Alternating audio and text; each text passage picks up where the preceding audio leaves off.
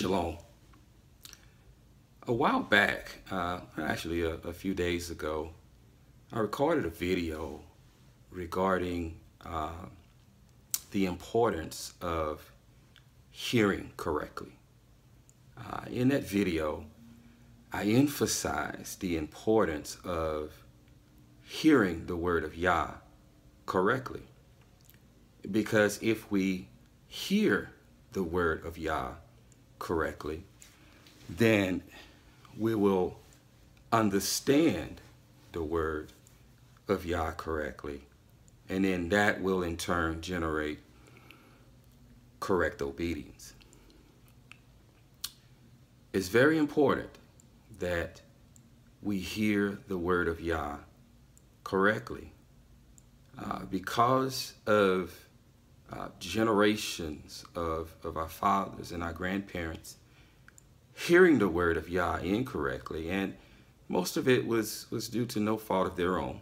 Uh, this was inherited from their fathers, and uh, it was more, more often than not uh, forced down the throats uh, of their fathers.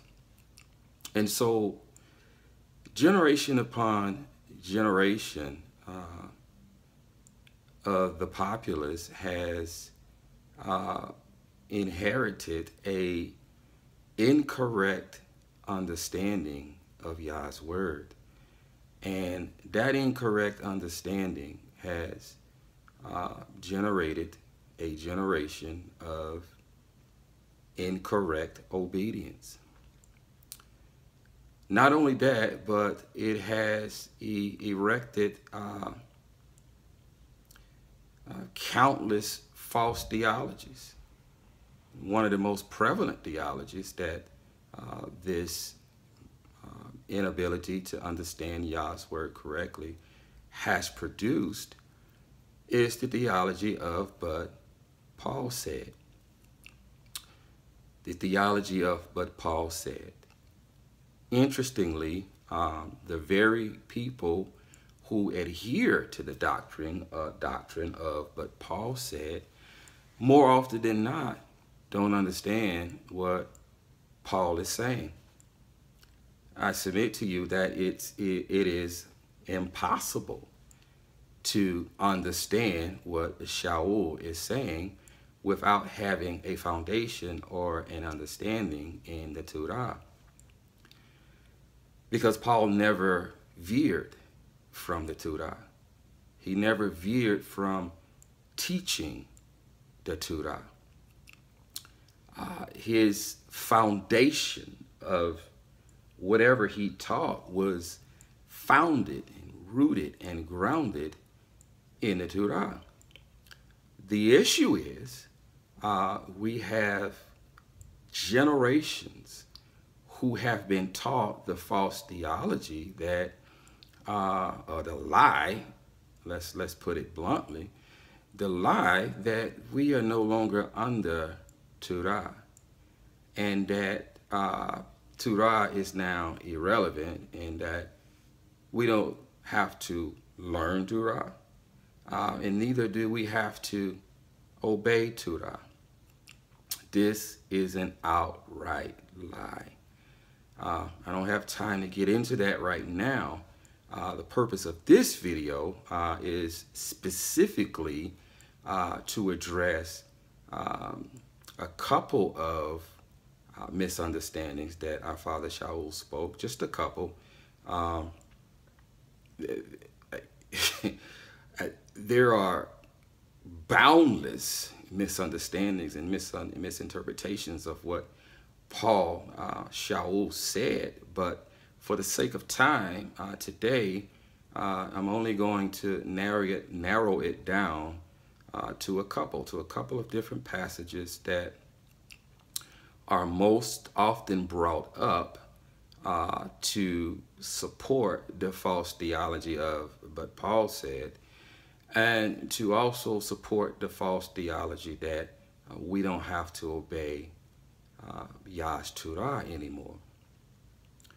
And so with that, um, I want to address a couple of different passages. Uh, the first passage will come from Romeim, or Romans, the 14th chapter. And the second uh, passage will come from Colosseum, or Colossians, the second chapter. Uh, these are very, very popular passages uh, in the Christian community uh, to support lawlessness. Uh, very, very popular passages within the Christian community to support lawlessness. In fact, uh, whenever uh, we, someone who is walking in truth brings up that the Shabbat is eternal, the, the feasts are eternal, uh, these two passages are two of the most popular passages that uh, are brought up in defense of lawless behavior. And so the purpose, again, of this video is, is not to address uh, all of Paul's sayings. Uh, maybe that'll come in subsequent videos. Uh, but the purpose of this video is to tear down the standing stones. Uh, in other words, to tear down the false idols of the misunderstandings and the theology of but Paul said. But Paul said, uh, with respect to these two passages. Uh, and I chose these two passages, passages again uh, because these are two of the most popular passages that are used by Christians worldwide uh, to support lawless behavior. So with that said, if you have your scriptures or if you do not have your scriptures, go ahead and pause this video right now and run and get your scriptures and come back and let's read through the scriptures. Let's let's gain some context. Let's read through them and seek the Ruach HaKodesh for understanding because understanding only comes from him. Hakma only comes from him. Let's seek him and prayerfully gain some understanding with respect to what Paul is actually saying in these two popular passages that are most often used in defense of lawless behavior. So again, the first passage, the first scripture is Romans, Romans, the 14th chapter verse 1 through 6. I'll read through it first, and then I'll point some things out. Verse 1 And receive him who is weak in the belief, not criticizing his thoughts. One indeed believes to eat all food, but he who is weak eats only vegetables. He that eats, let him not despise him who does not eat. And he that does not eat, let him not judge him who eats. Elohim received him. Who are you that judges another's servant? To his own master he stands or falls. But he shall be made to stand, for Elohim able to make him stand. One indeed judges one day above another another judges every day alike. Let each one be completely persuaded in his own mind. He who minds the day minds it to Yahuwah. And he who does not mind the day, to Yahuwah he does not mind it. He who eats, eats to Yahuwah, for he gives Elohim thanks and he who does not eat, to Yahuwah he does not eat, and give, gives Elohim thanks. This particular passage is one of the most popular passages to support the lawless behavior that uh, the Shabbat does not matter, and the only thing that matters is that uh, we esteem the day to Yahuwah, irrespective of the fact that Yahuwah has deemed the Shabbat eternal. That he has deemed the Shabbat eternal. Now, some translations uh, will say, uh, he who minds the, uh, I think I've read translations where it says a holy day, uh, minds it to Yahuwah. I submit to you that, uh, again, if, if you don't have an understanding of the Torah, then you're going to totally not get this passage. You are going to totally not get this passage. Now, later in this passage, uh, he also addresses foods that are being sacrificed to idols that are being sold in the meat market. Uh, he is not addressing unclean foods. He is not giving you permission to eat that which is unclean. Uh, this is a common theme. He again addresses this to the Corinthians. Nevertheless, I, this video is not about that, but in particular of this uh, verses 1 through 6. Now, if you note, uh, he mentions eating a total of 10 times uh, in verses 1 through 6. He mentions eating 10 times in verses 1 through 6. And so this passage is not about a Shabbat. Shabbat is not even mentioned in this passage of scripture. The word Shabbat is not mentioned. What is mentioned is eating and not eating. Eating and not eating. He who chooses to eat on a certain day, let him eat. He who chooses not to eat on a certain day, let him not eat. I submit to you that Paul here is addressing fasting. He is addressing fasting. He is speaking to Yahudim and he is trying to establish order within the community, within the assembly.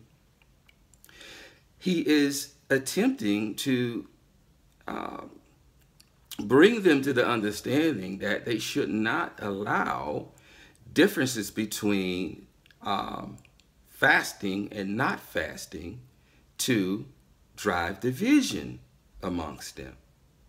That if a person chooses to fast, let him fast because that day he is fasting to Elohim. He is fasting to Yahuwah. If a person chooses not to fast, then he is choosing not to fast to Yahuwah then don't judge him for not fasting.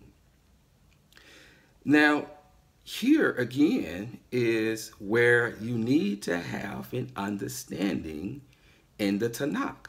To understand what he is saying here and what he is addressing, you have to have an understanding in the Tanakh and the Torah. So if you'll turn with me, I, I have a couple of witnesses.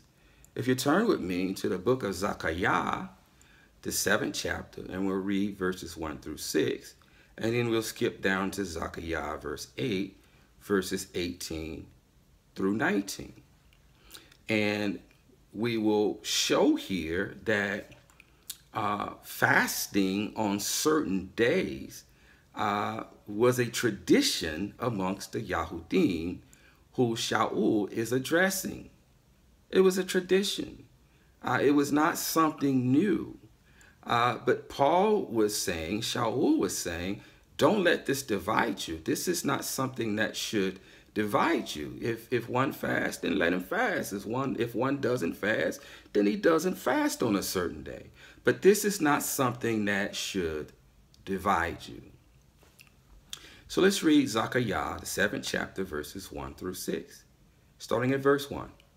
And in the fourth year of sovereign Darius, it came to be that the word of Yahuwah came to Zechariah on the fourth of the ninth month in Kislu.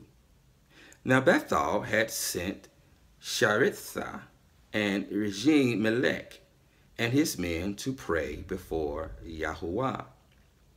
Speaking to the Kohanim who belonged to the house of Yahuwah Shabbaoth, and to the Nabiim, saying, Should I weep in the fifth month and fast as I have done for so many years? Then the word of Yahuwah of Shabbaoth came to me, saying, Speak to all the people of the land, and to the Kohanim, saying, When you fasted and lamented in the fifth and seventh months, all these seventy years, did you truly fast for me? For me? And when you ate and when you drank, was it not for those eating and for those drinking? Zechariah chapter 8, verses 18 through 19. And the word of Yahuwah of Shabbaoth came to me, saying, Thus said Yahuwah of Shabbaoth, the fast of the fourth, and the fast of the fifth, and the fast of the seventh, and the fast of the tenth months are to be samach, what you call joy, and simcha, or gladness, and pleasant appointed times for the house of Yahudah. And they shall love the truth and the shalom. So Shaul isn't addressing something new here. He is addressing, addressing a tradition of the Yahudim. But if you don't have a foundation in the Tanakh, if you don't have a foundation in the Torah, then you're going to misinterpret this as him saying that you can now keep Shabbat on whichever day that you want. Or you can now eat whatever you want. Again, correct hearing generates correct understanding whereby generating correct obedience, whereby generating the correct kind of fruit. If you don't have a foundation in Torah, if you don't have an understanding of Torah, then you're going to totally, totally miss what our father Shaul is saying and the order that he is trying to establish. It had nothing to do, in general, with food, and it had nothing to do with the Shabbat. Shabbat is not even mentioned. He's dealing with a faction. He's dealing with an argument, with a disagreement, with those who adhered to the tradition of fasting on certain days and those who did not adhere to the, to the tradition of fasting on certain days, who were being judged by the ones who adhered to the tradition of fasting on certain days. Plainly, I don't know how else to, to, to, to say it. This is what he's addressing. And this should establish the importance of having a foundation in Torah, a foundation in the Torah. The next passage of scripture I want to address um, comes from Colossians, uh, Colossians, the second chapter, another very, very popular passage of scripture that is most often used by the lawless to support lawless behavior with respect to I can choose whatever day that I want to uh, worship Elohim, and and that's that's that's true. We can worship Yahuwah on every single day of the week. But he has ordained from the beginning one day that we are to rest on. And that is the eternal Shabbat, the seventh day. It is the only day ordained by which we are to rest. If you want to worship on any seven days of the week, you are free to worship seven days of the week. But we are ordained to rest, are commanded to rest only on the seventh day.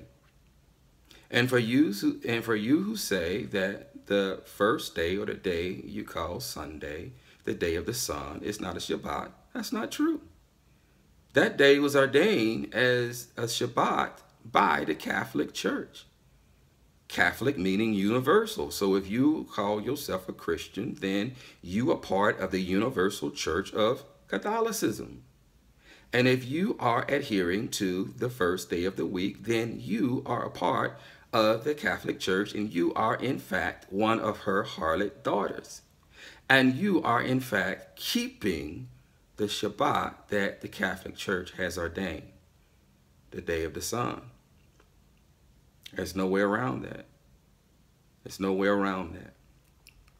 So I want to I want to address this second passage that is Colosseum, the second chapter, verses 16 to 23. But I want to preface that uh, by reading Exodus, the 31st chapter, uh, verses 13 through 17. That's Shemoth, the 31st chapter, verses 13 through 17. Beginning at verse 13, it reads, And you speak to the children of Yasharal, saying, My Shabbats you are to guard. Shabbats, plural, not Shabbat, singular, but Shabbats, plural. My Shabbats you are to guard by all means, for it is a sign between me and you throughout your generations, to know that I, Yahuwah, am setting you apart. And you shall guard the Shabbat, for it is set apart to you. Everyone who profanes it shall certainly be put to death. That's an eternal decree. Just because that decree is delayed uh, does not mean that it has been done away with. Make no mistake, the righteous judge, the Zedek judge, Yahusha Hamashiach, at the end of all things will sit on his judgment seat. And he will judge all mankind, all nations, in accordance with his Torah. And all who have transgressed the Torah and have not repented from that transgression will receive the penalties in accordance with the Torah for transgressing the Torah. If the penalty is death, then the penalty is death. If the penalty is you will be cast away from your people, then the penalty is you will be cast outside of your people. But if it calls for death, then the penalty is death. And here it says, For it is set apart to you. Everyone who profanes it shall certainly be put to death.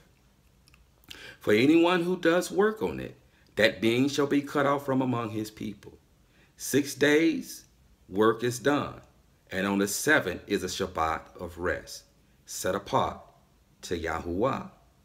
Everyone doing work on the Shabbat day shall certainly be put to death. And the children of Yasharal shall guard the Shabbat to observe the Shabbat throughout their generation as an everlasting covenant. How long is everlasting? That's a rhetorical question. You don't have to answer. But think about it. How long is everlasting? Between me and the children of Yasharal, it is a sign forever. How long is forever? Again, this is another rhetorical question, but how long is forever? For in six days, Yahuwah made the heavens, the Shamayim, and the Arets, and on the seventh day he rested and was refreshed. So I wanted to read that uh, as a preface uh, to Colosseum, the second chapter, verses 16 through 23. Again, a passage, a familiar passage that is most, most often used to support lawless behavior. To support lawless behavior. So beginning at verse 16, uh, I'm going to read from the KJV because a lot of you uh, still adhere to the KJV. I won't address that. I won't get into um, how the KJV is a Masoretic text and how it is full of pagan language, but we won't get to that. That this video is not about that. Uh, for the sake of, of reaching a larger audience, uh, we'll read from the KJV, beginning at verse 16. Let no man therefore judge you in meat or in drink or in respect of an holy day. Now that word, that's very deceptive. If you look at it from the surface, that word is very deceptive because you'll begin to think, well, he's talking about a, Sabbath, a Shabbat, particularly a Shabbat. But if you look at the Greek word behind um, holy day, uh, in the Strongs, it's Greek 1 1859, and we find the word heorte, heorte, and it means a feast, a festival, periodically reoccurring. Periodically reoccurring. So here he says, Let no man therefore judge you in meat or in drink or, or in respect of a festival day that is reoccurring. Now I want you to bookmark again Exodus 31 uh, where Yahuwah has said that his Shabbats are eternal. They are eternal.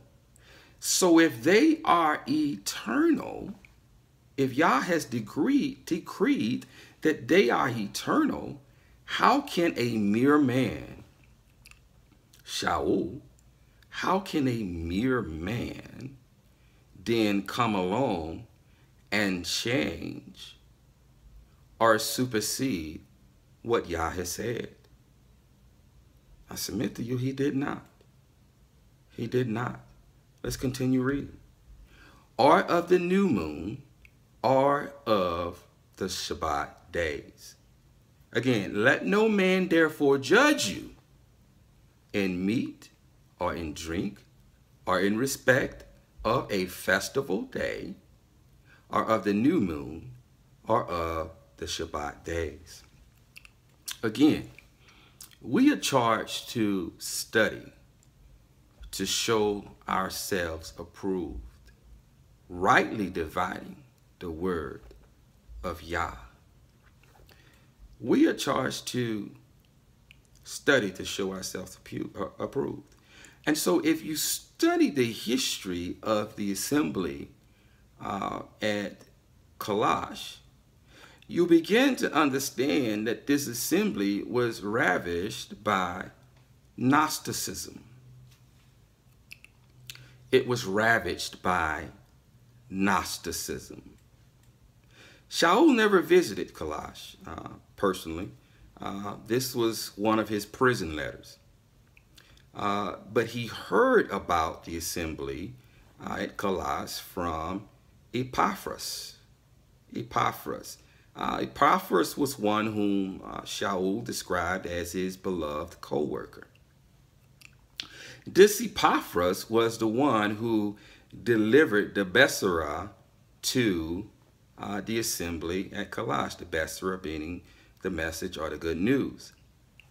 When he arrived, he discovered that even the dispersed from the northern kingdom and uh, the Yahudim that were there to whom he was sent uh, were enveloped in Gnosticism.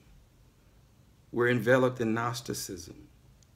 Uh, but after the Besorah was preached to them, uh, many of them were converted.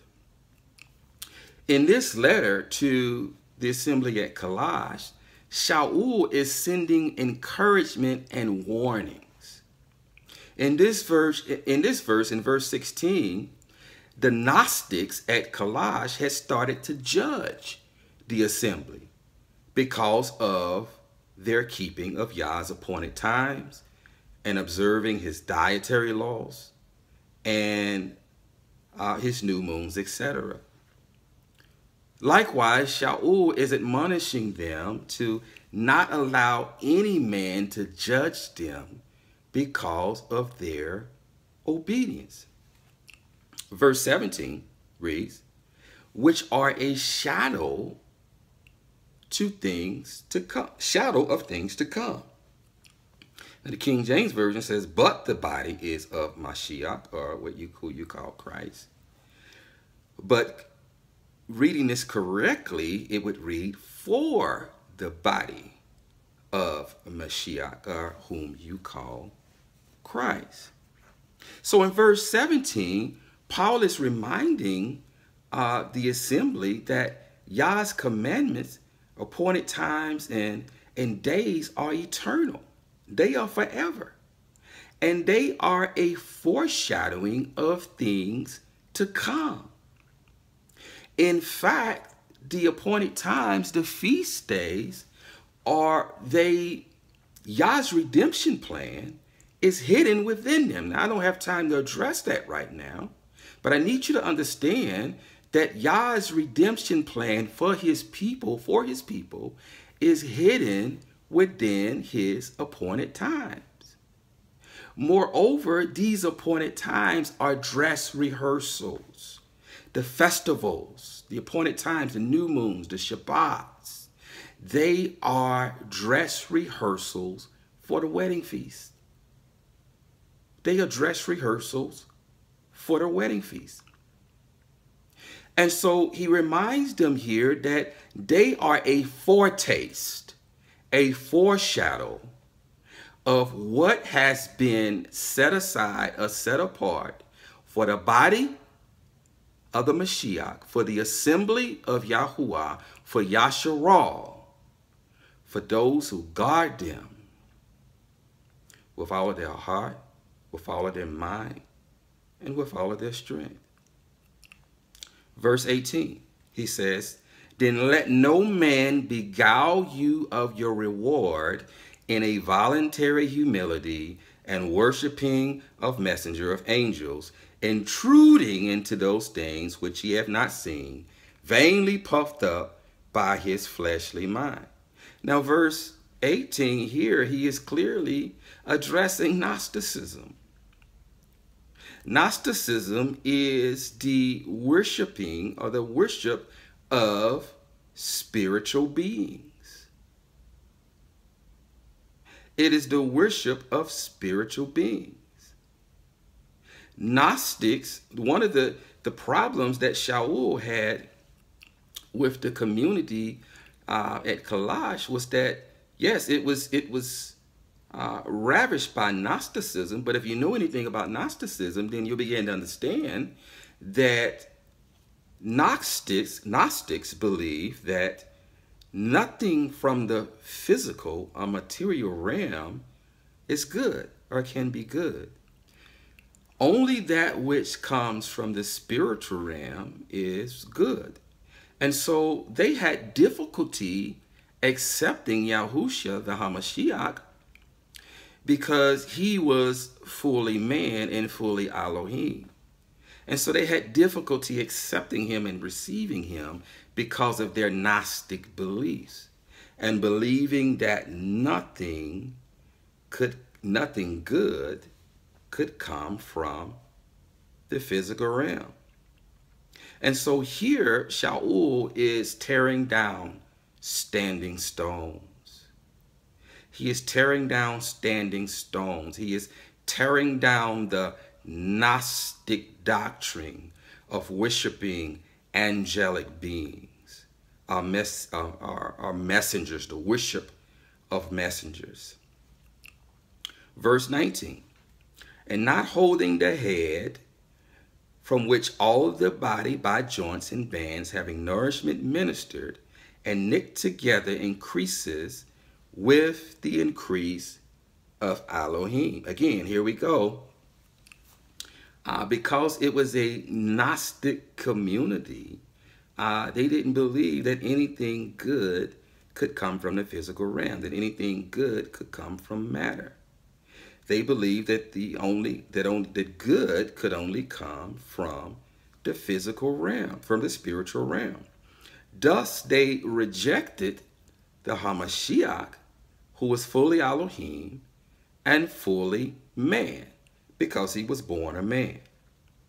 They were unable to understand that he is the cornerstone, that he is the, the stone laid in Zion, on which everything is built, on which the whole house, both Ephraim and Yahudah, is built. He is the stone, the chief cornerstone that was rejected, that completes the house, the whole bayit of Yasharal. And he holds everything together. He holds everything together, and they could not receive this. Some of them could not receive this nor understand this because of their Gnostic, Gnostic beliefs. Verse 20. Wherefore, if you be dead with Mashiach from the rudiments of the world, why, as through living in the world, as though living in the world, are you subject to ordinances?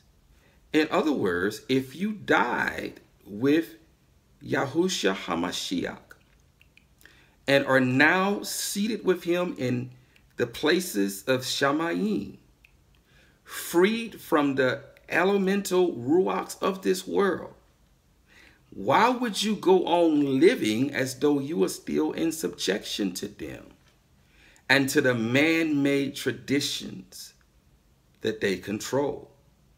Verse 21, touch not, taste not, handle not. See verse 20. Verse 22, which are all, and, and this is the key. this is the foundational verse of which Shaul is dress, addressing. He is not addressing the commandments of Yah, telling them not to keep the commandments of Yah because the commandments of Yah are eternal. Yah's dietary laws are eternal. Yah's Shabbats are eternal. Yah's new moons are eternal. He's not addressing this. He cannot because they're eternal. So what is it that he is addressing? Again, we've we've already pointed out that the assembly at Kalash was a Gnostic community. So let's look at verse 21. Which are all to perish with the using after the commandments and doctrines of men. This is the center of what Shaul is addressing. It is clear he was addressing Gnosticism, the commandments and doctrines of men, and not the commandments of Yah, which are eternal. He was not telling them not to observe Yah Shabbat, his new moons and his, and his appointed days. On the contrary, he is admonishing the assembly at Kalash to not allow those devilish, wicked Gnostics to judge them for keeping Yah's commandments and subsequently convince them to accept the commandments and doctrines of men which will perish, whereby losing out on the prize. Doesn't that sound familiar? Isn't that a very familiar scene that is still going on? If one adheres to keep the commandments of Yah, we're being labeled as religious, we're being labeled as legalists, we're being labeled as lost. But I submit to you, is in, in Hazon, the 22nd chapter, a Revelation, the 22nd chapter, it is not those who keep the commandments of Yah, who will be dismissed and kept out of the rain, but those who disobey the commandments of Yah. You can read it for yourself. Hazon verse 20, uh, Hazon chapter 22, verse 14. Read it yourself. These are not my words. Read it yourself. Read the word of Yah. Read the word of Yah. So this is still today very prevalent, familiar scene. And so I'm here to encourage someone. I'm here to encourage you. Irrespective of what the lawless say to you with respect to guarding the instructions of our Abba, irrespective of what they say to you, Keep walking. Keep walking in the path of Zedekiah. Keep walking in the light, the Torah of Yah, and have fellowship with him and have fellowship with us. Don't be discouraged. Don't be dismayed by their looks or what they say. If you are walking this walk, and there are very few of us who are walking this walk, keep walking this walk. And don't be discouraged by those who are lawless and who are trying to encourage you to walk in a lawless way. Verse 23 which things have indeed a show of Hakma, and which things have indeed a show of Hakma, which you call wisdom, in will worship and humility and neglecting of the body, not in any honor to the satisfying of the flesh. So to put verse 23 into context, I will quote another passage of our father Shaul. Having a form of godliness, but denying the power thereof. From such turn away. That is uh, Timotheus, Bet, or Second Timothy, the third chapter, the fifth verse. In other words, he is saying the, the very people that were and are judging Elohim's people had an outward appearance of Hakma and set apartness with their religious observances, their false humility and asceticism.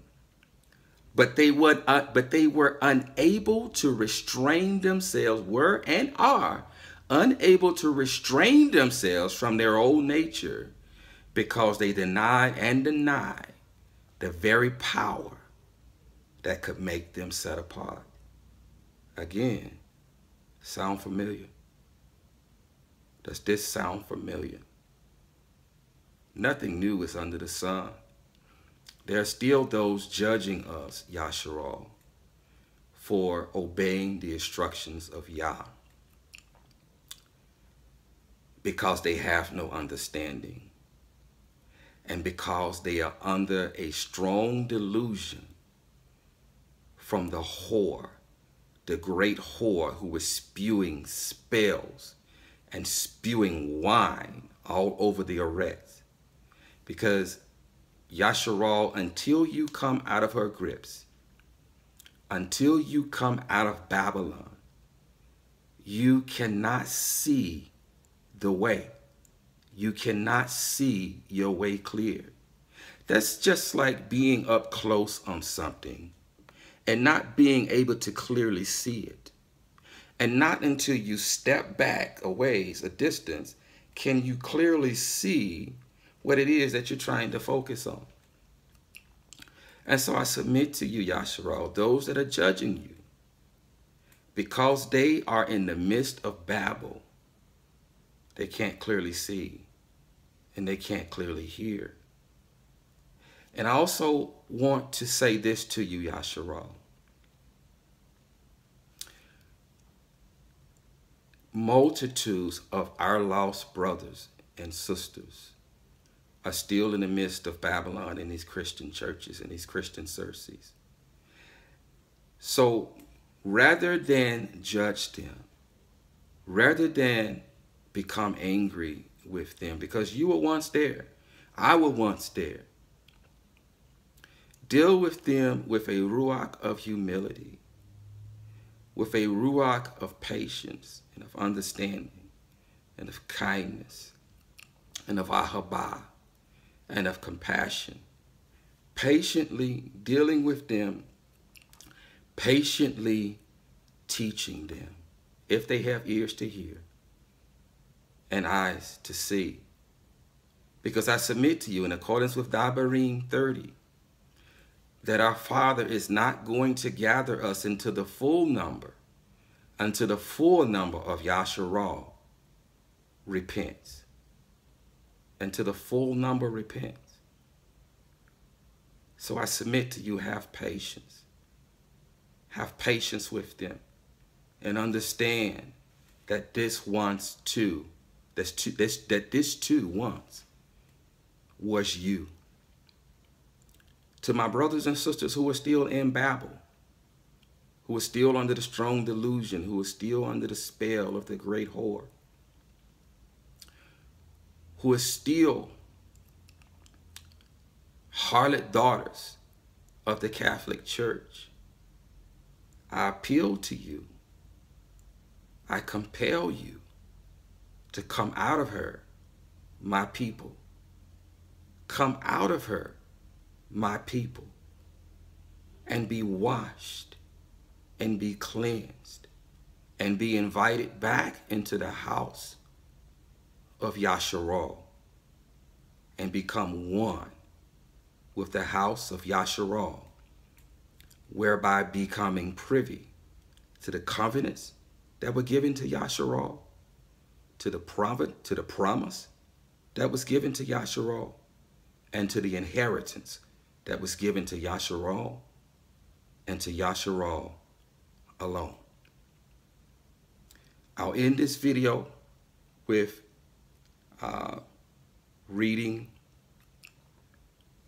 Yashayahu, that is Isaiah, uh, the 66th chapter, the 22nd verse, through the, 10, tw through the 23rd verse. And then I'm going to read Colossians, Colossians, uh, the same verses that I read previously from a better transliteration of the Hebrew scriptures, such to give you a better understanding with respect to what our father Shaul was actually saying. So Yashayahu, the 66th chapter, verse 20 through to 23 reads, For as the new Shamayim and the new arets or earth that I make stand before me, declares Yahuwah, so your seed and your name shall stand. And it shall be that from new moon to new moon, and from Shabbat to Shabbat. All flesh, all flesh shall come to worship before me, declares Yahuwah. His appointed times are eternal, and they will even continue in the new reign and throughout eternity. They are eternal. Come out of these lies. Come out of these pagan churches. Come out of these pagan doctrines. Come back to Torah and gain an understanding of what our Abba is relaying to us. His Torah is his very character. It is his very nature. It gives us an insight into his mind and into the way that he sees things. It gives us an insight. It is the essence of who he is. In fact, the word declares that he is the word, that he is Torah. Torah is the word. You go back and study it for yourself. But Torah is the word. And so it gives us an insight as to who he is and to how he operates. And so he gives us these instructions so that we in turn can conduct our lives the way that he is and so that our lives align with his. With his. Torah is light. It is light. It shines light on the dark places of our lives. It identifies what is dark in our lives. It identifies sin in our lives. Without the light of Torah, we have no way of understanding of what Yah considers set apart, what Yah considers unclean, of what Yah considers profane. And we in turn are groping around in darkness without a light to lead us. Without a light to lead us. Again, I'll close this video with reading Colossians, Colossians rather, Colossians, the second chapter, the 16th verse through the 23rd verse in a better transliteration of the set apart scriptures. Starting at verse 16.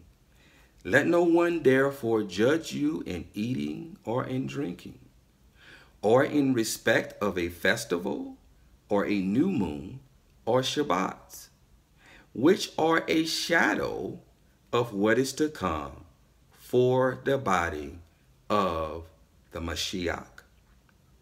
Let no one deprive you of the prize. One who takes delight in false humility and worship of messengers, taking his stand on what he has not seen, puffed up by his fleshly mind, and not holding fast to the head, from whom all the body, nourished and knit together by joints and ligaments, grows with the growth of Elohim. If then you died with Mashiach from the elementary matters of the world, why, as though living in the world, do you subject yourselves to regulations? Do not touch, do not taste, do not handle, which are all to perish with use, according to the commands and teachings of men. These indeed have an appearance of hakma in self-imposed worship, humiliation, and harsh treatment of the body, of no value at all, only for satisfaction only for satisfaction of the flesh. Only for satisfaction of the flesh. Come out of her, my people. Shalom.